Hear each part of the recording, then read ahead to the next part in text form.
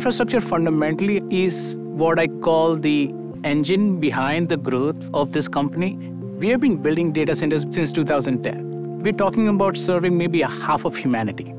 Now, when we're talking about AI, you need a similar engine behind AI so that AI can achieve the potential that we are sort of dreaming. AI workloads are growing at a pace of 1,000x every two years. I mean, just contemplating what that means for our systems, our silicon, our software stack, we're in the middle of a pivot to the next age of information. The models themselves are becoming hundreds or thousands of times larger and more complex. And what this is going to require is infrastructure at the exaflop level. We're reimagining everything we do about our infrastructure for AI. We're creating data centers that are specific for AI. We're creating new hardware, including our own silicon. We're building out new kinds of network architectures. We're reimagining the software stack like PyTorch. Thousands of engineers are innovating on this large-scale infrastructure, infrastructure that's built specifically for AI.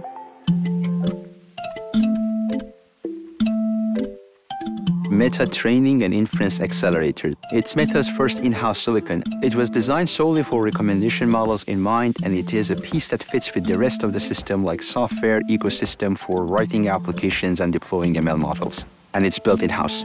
By having it in-house, we are able to optimize every single nanometer of the chip. So we don't have any part of the architecture that is like wasted.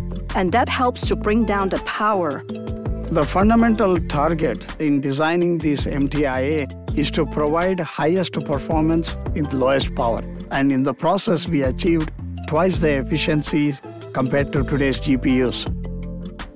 Another silicon product built by Meta is MSVP, Meta Scalable Video Processor.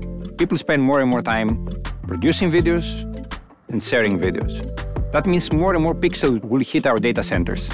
MSVP processes these videos nine times faster than the traditional software encoders, maintaining the same video quality at par with the software encoders and at half the energy. MSVP can be the final engine that takes all the generative AI content that people create, eventually needs to be encoded. It can never traverse the internet in its raw format.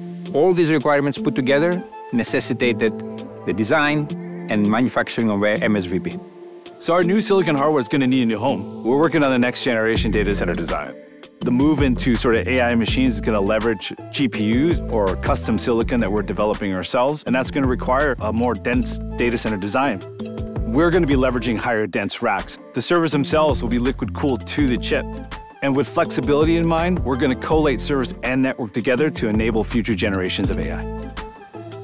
We believe our research supercluster is one of the fastest AI supercomputers in the world.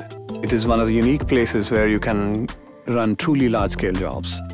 We have 16,000 GPUs interconnected with 1.6 terabits per second of InfiniBand network, producing approximately 5 exaflops of compute power.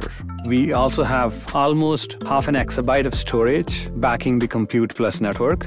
The advancements in AI are coming at the right time so that RSC can be put to use to take advantage of the infrastructure and the data and then move fast. We design, create, run, and operate all of our infrastructure. So it's a sweet spot of being able to work at scale, work at cutting edge, and also do work that literally hits billions. Infrastructure at scale is what our long-term research requires, and innovation without it is impossible. I feel like I'm in the middle of a revolution. It's just an incredibly exciting time to be at Meta.